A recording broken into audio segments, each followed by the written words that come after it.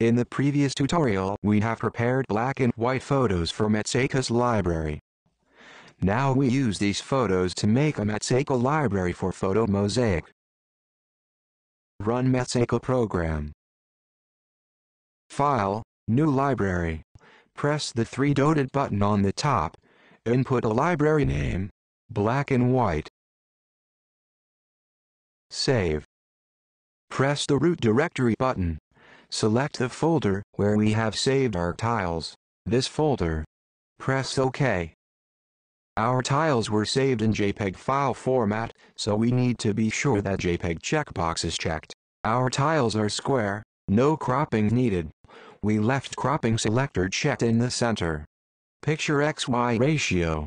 For square tiles x must be equal to y set them both to 3. Sampling ratio. 6 and 6 ratio is optimal setting for any average size library. We left it 6 and 6. Thumbnails settings. They are for preview only. The full version of Mazaika uses our original tiles when it draws and saves high-resolution mosaic. These library thumbnails are only for mosaic preview. We set them to width 50 and quality 80. It will be good enough for preview. Color mode. Because of our tiles are black and white there is no difference between YCC and RGB modes in this case. We select a default YCC mode. We recommend you always to use YCC mode. It is the best mode for both grayscale and color images. When all parameters are set on, press Scan Images button.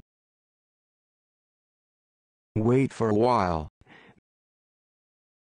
Mazaika must to read and index all images in our folder. Process is stopped.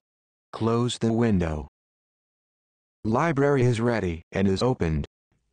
You don't need to recreate a library every time when you run Mazaika.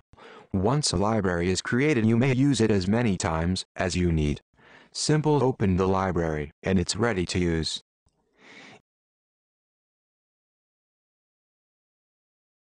In the next tutorial we will show how to make a mosaic with this library.